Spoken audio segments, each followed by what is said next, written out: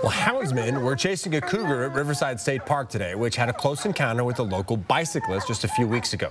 Crews are putting a collar on that cougar so they can track down and study its behavior around people. Peter Choi explains why this study matters for your safety. Four hounds and crews were chasing down a cougar at Riverside State Park on Tuesday.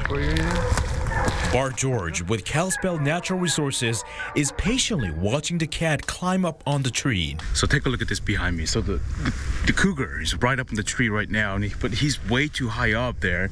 So we're waiting for him to come down and move to the lower tree for his safety.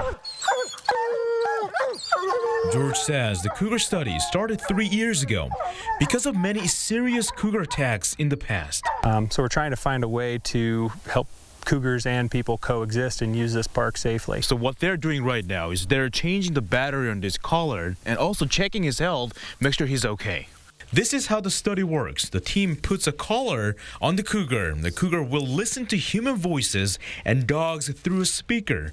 Then we'll study the cougar behavior for weeks. What we're trying to do is um, we want them to have an, a negative association with human voices. So when they hear people, they're looking to uh, get out of the way, get to cover, stay away from people. We removed a, a lot of cougars, and, and, and that's a lot in the Tri County area, including Spokane and Lincoln counties. Tony Leonetti with Fish and Wildlife says the project has helped the department already. We've been able to use this project as a tool, to a non-lethal tool, to really help um, with the response to to these incidents and show show to the residents and people that.